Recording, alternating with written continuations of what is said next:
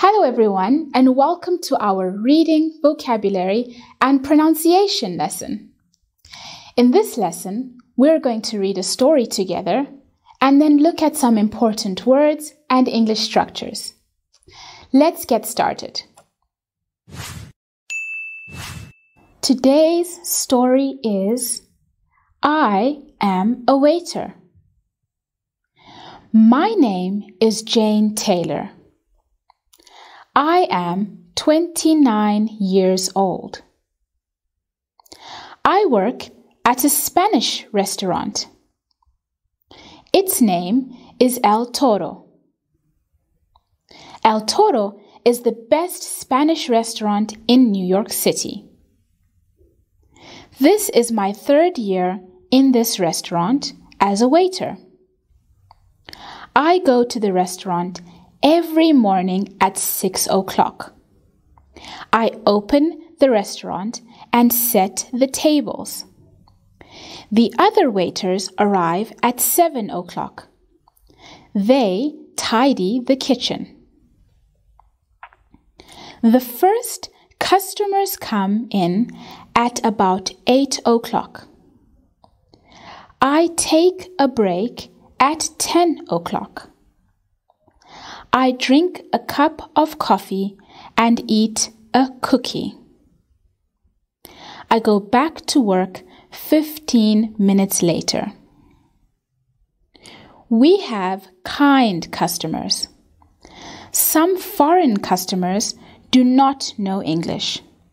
This can be hard sometimes. I have a lunch break at 12 o'clock. Workers have a special menu. The food is really good. After 30 minutes, I go back to work again. I finish work at 2 o'clock. I do not work on Sundays, but I work two hours more on Saturdays. Saturdays are the most crowded days at the restaurant. The price is not bad, but the tips are really good. I get tired sometimes, but I still love my job and my workmates. Now that we've read our story, I Am a Waiter, about Jane Taylor, let's have a look at some words to remember. Spanish restaurant. A restaurant is a place where people pay money to sit and eat meals. In a Spanish restaurant, the meals are from Spanish culture. Waiter. A waiter is a person who brings people their food at the restaurant. A waiter can also be called a server. Set the table. This is a verb. It means preparing the table with the things that are needed for a meal, like forks, spoons, and napkins. Tidy. Tidy is a verb and it means to arrange or clean something. So, if the other waiters tidy the kitchen, it means they arrange or clean the kitchen. Tips.